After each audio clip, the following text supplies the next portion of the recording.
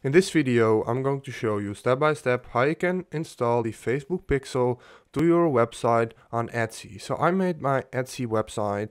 Uh, I made a website with WordPress as well, and unfortunately, you can't connect it directly to Etsy. But if you have a website next to it where you sell stuff as well, you can connect your pixel to that website. So I have a website right here. Um, based on my Etsy website on Etsy, and you want to go to your business.facebook.com a link here. Make sure you log into your Facebook account and then you want to go to the three lines at the top and go to Event Manager. From Event Manager, hit the green button right here, connect data source and select web, hit connect. Now we have to make a name, so I'm going to Pixel 6 just for this video, Pixel 7, I'm sorry. And now we have to copy our website link. I'm doing that right now. You should do that as well and put it in here. Hit check hit next. And now we can select the first one. I would recommend you this to do this as well. Next next set up. And now use a partner integration because we can use this one.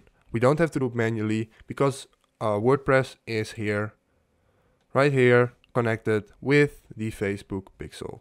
We can hit WordPress and now what we have to do we have to install the Facebook for WordPress WordPress plugin. Go to plugins and hit add new.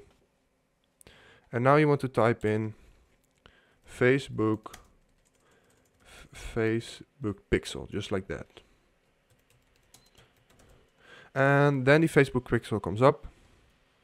It is this one. You want to install it and activate it.